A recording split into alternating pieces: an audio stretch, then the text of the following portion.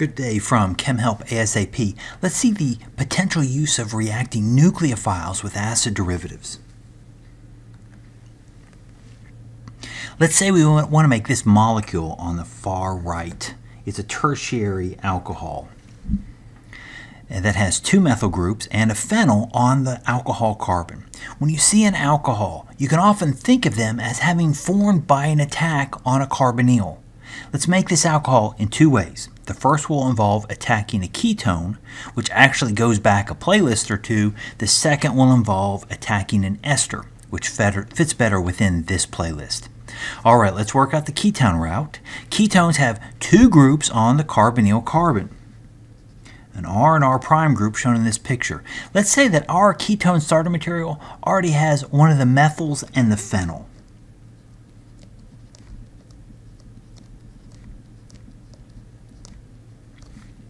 That means we just need to add the second methyl to get to our product.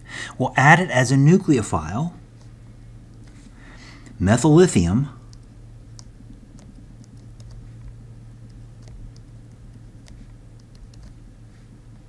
this forms a tetrahedral intermediate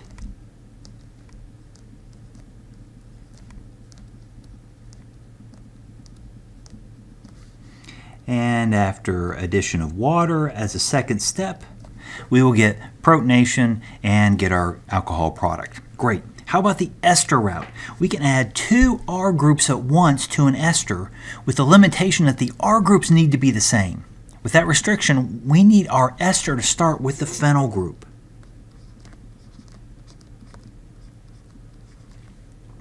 The ester also needs an OR group of some sort. It doesn't matter what we pick because this group will be lost in the reaction. Let's go with an O-ethyl. So here is our starting ester. We need to add two methyl groups and we'll treat the ester with an excess of methyl lithium. Sometimes you, people will write excess. Some people just write XS excess, and other times you rely on the reader to infer that you need excess. I'm in favor of providing an explicit label. Either write the word excess or the, or the letters XS. Here we go. Attack to form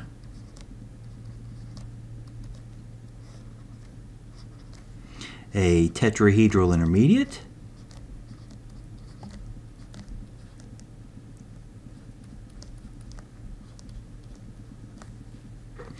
The O-ethyl can serve as a leaving group. We can kick that out.